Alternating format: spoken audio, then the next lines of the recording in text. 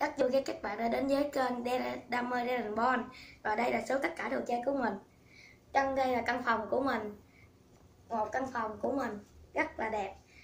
Đây là số đồ chơi của mình. Đã để dành tiền để mua. Và các bạn hãy nhìn đây.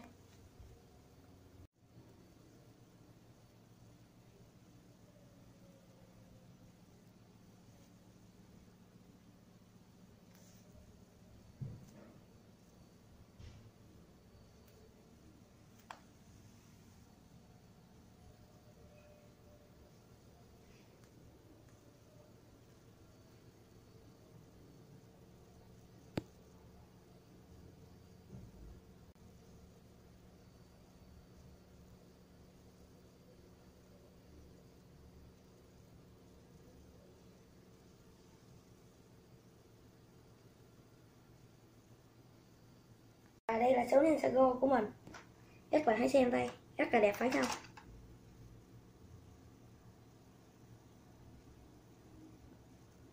Và hai cái này là mình định à, giới thiệu với các bạn Ai muốn được chơi mình mua hôm nay. Các bạn hãy xem đây.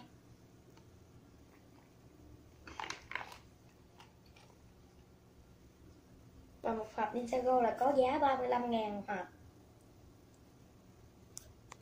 Một bên để mà cho các bạn coi.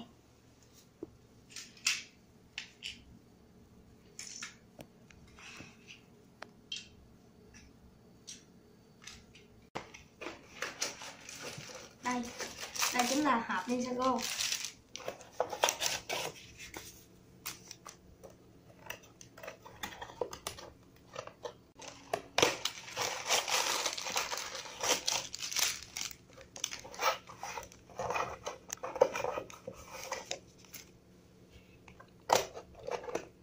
Và bây giờ mình sẽ cầm lên cho các bạn coi. Đây. Đây chính là những bộ phận mình sẽ gấp ráp cho phần sau của các bạn xem. Và bây giờ mình sẽ xin kết thúc video. Cảm ơn các bạn đã xem video này và mình sẽ gấp gấp cỡ những này phần sau. Xin hẹn à, gặp lại các bạn.